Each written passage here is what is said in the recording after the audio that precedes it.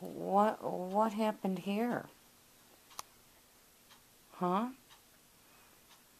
Did Luke get into your bed and tear? No, that's okay. That's Luke's blanket. Where'd all the white stuff come from? Who did that? You didn't do that. You would never do that, would you? What happened? Did something explode? I see. I see. There's a dog in there. Yeah. What happened? Did you tear that apart? Uh, it looks like it came out of your bed. Don't know how that happened.